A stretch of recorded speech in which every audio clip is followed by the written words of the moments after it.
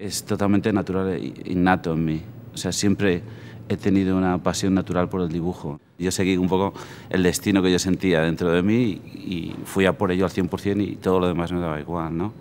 Curiosamente, y no sé por qué, empecé a dibujar desde pequeñito, ¿no? Pero siempre he tenido como una inclinación natural hacia la comunicación y hacia entender eh, los procesos de comunicación de una forma natural.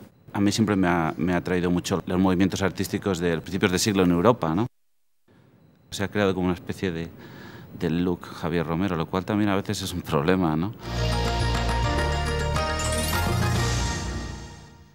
Lo que hagas tiene que comunicar, tiene que hacer algo, ¿no? Tiene que, cumplir una misión, tiene que hacerlo. Si no lo haces, no funciona. Y es que uh, se, está, se está confundiendo, ¿no? ¿Qué es qué, no? Se está identificando el diseño como tecnología y como, no tiene nada que ver, ¿no?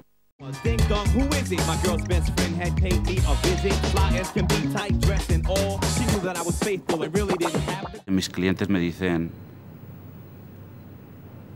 pásatelo bien, haz lo que quieras, porque saben que mientras cuanto más a nivel personal me lo tomo y, y mejor me lo pase con, con un proyecto, mejor va a funcionar, mejor va a salir.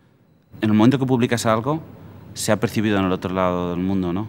Y entonces, ¿qué pasa? Que ha, causado un impacto y, una repercusión.